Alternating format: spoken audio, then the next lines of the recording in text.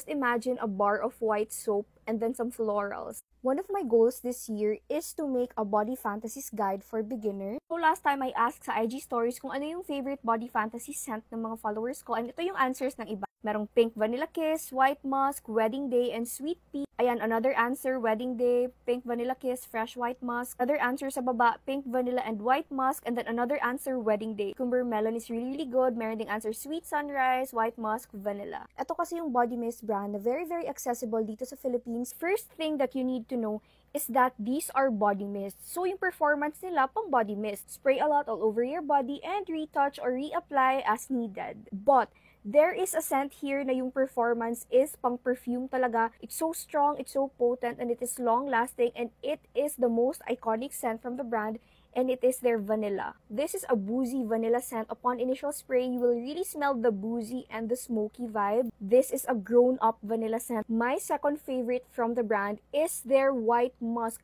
Oh my gosh, this smells so good.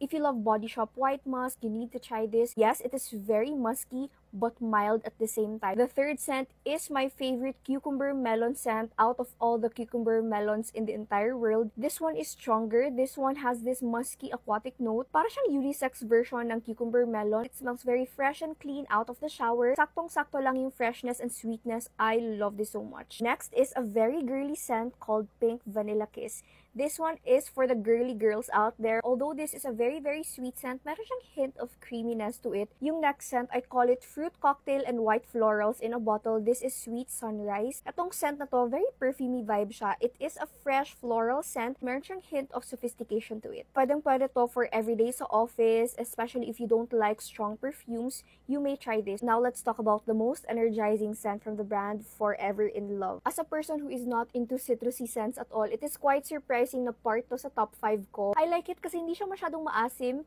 Yes, it is a fresh citrusy scent, but meron siyang fruitiness and this delicate floral note that I smell. The dry down. The dry down is so, so good. It's very fresh lang talaga. Next, guys, if you're into powdery florals, go for their Japanese cherry blossom. I recommend this scent sa mga titas na mahilig sa mga powdery florals. The last scent is a very beautiful, mild floral scent. This is wedding day, and yes, it reminds me of a beautiful wedding. The best best way to describe this is it is a soapy floral scent. It's very fresh, it's very light, it's very pretty. If you love Philosophy Pure Grace perfume, I think you will love this as well. I don't think anyone would hate this scent. It's just so good. Simple but good.